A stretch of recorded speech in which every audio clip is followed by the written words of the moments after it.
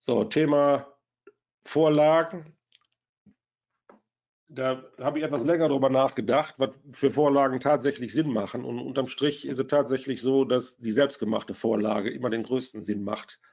Äh, das hat für mich persönlich den Grund, dass ich dadurch nicht eingeschränkt werde. Also diese, diese klassische Vorlagensucherei im Internet, äh, das mache ich schon lange nicht mehr, weil ich so eine Vorlage selber viel schneller erstellt habe und vor allen Dingen dann meine eigenen Ideen damit einarbeiten kann. Ausnahmen sind Fahrzeugarchive.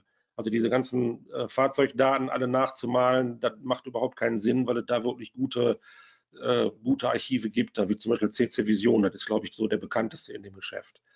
So, und die selbstgemachten Vorlagen, da kann ich eben auch noch was zu zeigen. Und zwar habe ich äh, da selbstverständlich eine Datei für vorbereitet.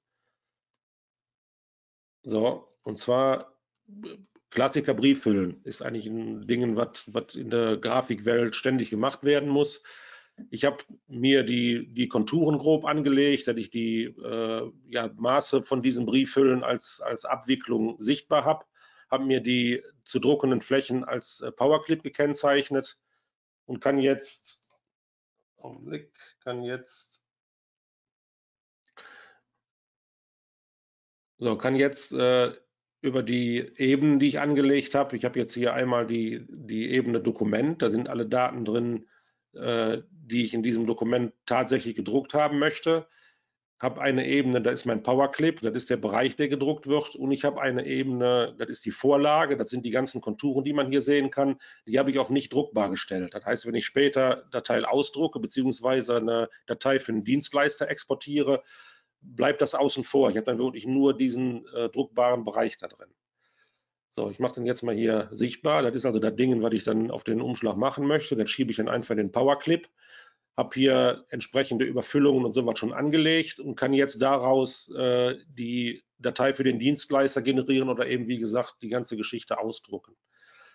So, da wir ja eine Vorlage haben möchten, normalerweise speichere ich die ganze Geschichte jetzt in einem Kundenordner ab und müsste mir das ja dann da immer wieder suchen oder ich habe irgendwo, äh, ich habe irgendwo eine, einen Ordner angelegt, wo diese ganzen Vorlagen drin sind, aber da bietet dann CorelDRAW eine Möglichkeit, die Vorlagen separat zu speichern, die dann auch immer so bleiben. Und ich kann aus dieser Vorlage immer wieder die neue Datei generieren, indem ich hier unter Datei auf Neu aus Vorlage gehe. Da sind diese erstellten Vorlagen alle drin, finde hier mein, mein äh, Kuvert und kann sagen öffnen. So, jetzt muss man aber beachten, der hat jetzt ein unbenanntes, äh, eine unbenannte Datei äh, erzeugt. Das heißt, ich kann mit Steuerung S jetzt hier nichts mehr speichern, sondern das ist die reine rohe Datei, die aus dem, äh, aus dem Vorlagenordner kommt und muss die jetzt tatsächlich separat in einem entsprechenden Kundenordner noch ablegen. Das darf man eben nicht vergessen.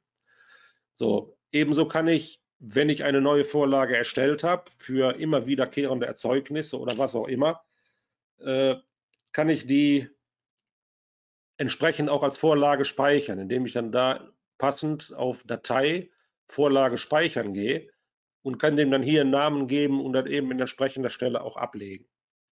So, und so habe ich dann diese, diese eine Vorlage, die ich erstellt habe, immer wieder abrufbar äh, an, an, einem und demselben Ort. Übrigens auch wieder über, die, äh, über diese Ordnerstruktur, die ich am Anfang gezeigt habe, äh, immer an dem gleichen Ort abgelegt. Also ich komme da auch mit, mit anderen Corridor-Versionen aus, aus, dem Netzwer äh, Netzwerk zum Beispiel dran, wenn ich das entsprechend konfiguriert habe.